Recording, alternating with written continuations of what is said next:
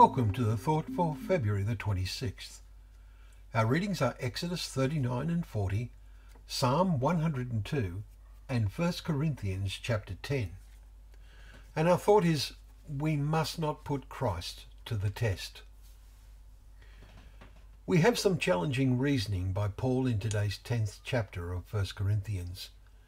He begins by reflecting on the experiences of Moses in leading the Israelites on into the wilderness after the events at Sinai. He draws parallels between the actions and reactions of God then and in his day. All their food is miraculously provided by God. Paul sees parallels with God's work in working through Christ in bringing deliverance for sinners who seek a relationship with God through Christ. The Israelites followed Moses as we follow Christ. Sadly, in the wilderness, says Paul, with most of them God was not pleased. They were overthrown. Verse 5. And then he adds, Now these things took place as examples for us. We must not put Christ to the test, as some of them did and were destroyed, he says in verse 9. Then he adds, nor grumble, as some of them did, and were destroyed. Verse 10. Do we grumble? If so, what about?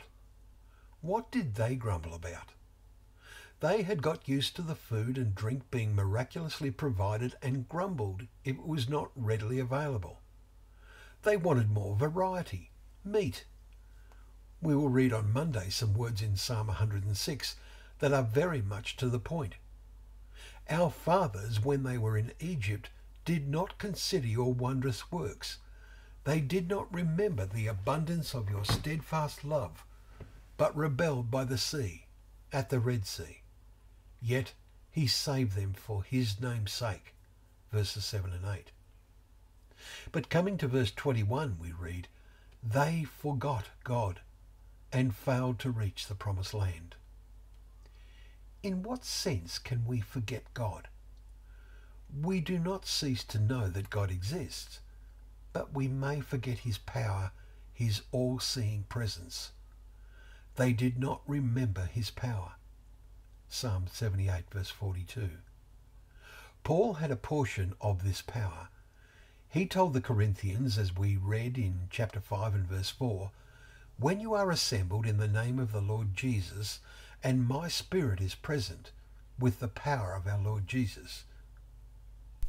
Returning to our chapter, Paul's warning again jumps out at us. We must not put Christ to the test, as some of them did. Could we be overconfident that we will not do this? Paul warns, Therefore let anyone who thinks that he stands takes heed lest he fall. A final time of testing appears to be near at hand. Is our faith such that we are sure we will endure to the end? Our final thought is from verse 13. God is faithful and he will not let you be tempted beyond your ability. But with the temptation he will also provide the way of escape, that you may be able to endure it. God is faithful we must respond with our own faithfulness. May we, as Christadelphians, heed the words Jesus sent through John to believers at Philadelphia. Because you have kept my word about patient endurance, I will keep you from the hour of trial that is coming on the whole world. Hold fast what you have, so that no one may seize your crown.